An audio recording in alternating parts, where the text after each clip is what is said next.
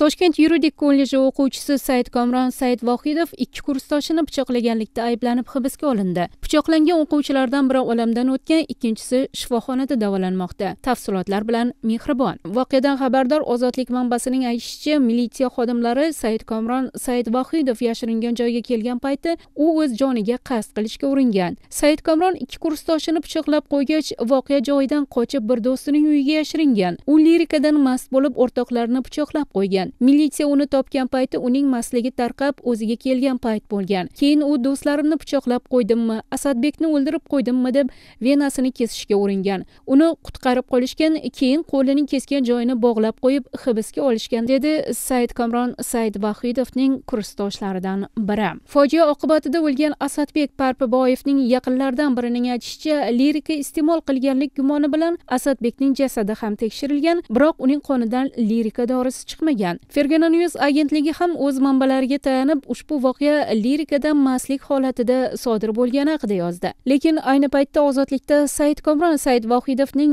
lirika iste'mol qilganiga oid aniq ma'lumot mavjud emas. Said vohidovning bu borada tibbiy tekshiruvdan o'tkazilgan yoki o'tkazilmagani ham ma'lum emas. Toshkent shahar ichki ishlar bosh boshqarmasi huzuridagi tergov boshqarmasi tomonidan o'n yetti yashar Said Vohidovga nisbatan jinoyat kodeksining bir yuz to'rtinchi moddasi uchinchi qismi d bandi ya'ni jabrlanuvchining o'lishiga sabab bo'lgan qasddan badanga og'ir shikast yetkazish bilan jinoyat ishi qo'zg'atilgan. Tergov surishtiruv ishlarini olib borayotgan uchtepa tuman ichki ishlar bo'limi xodimlari said vohidovning hibsga olinganini tasdiqladi biroq voqeaga oid boshqa tafsilotlarni ochiqlamadi. Voqea oltinchi oktyabr kuni uchtepa tumanida joylashgan toshkent yuridik kolleji hududida soat o'n beshda sodir bo'lgan. Voqea guvohlariga ko'ra uchinchi kurs o'quvchilari said komron saidvohidov asadbek parpiboyev va rahmatilla yorqoriyev o'rtasida kelishmovchilik chiqib ular o'zaro janjallashib ketadi. Ichki ishlar ma'lumotiga ko'ra janjal payti said vohidov ikki kursdoshining oyog'iga pichoq urgan. O'n yetti yashar asadbek parpiboyev shifoxonaga yotqizilgan va olgan tan jarohati oqibatida shifoxonada vafot etgan. O'n sakkiz yashar rahmatilla yorqoriyevga esa chap son tashqi yuzasi sanchilib kesilgan jarohati bilan shifoxonada davolanmoqda. Ozodlik bilan suhbatda rahmatilla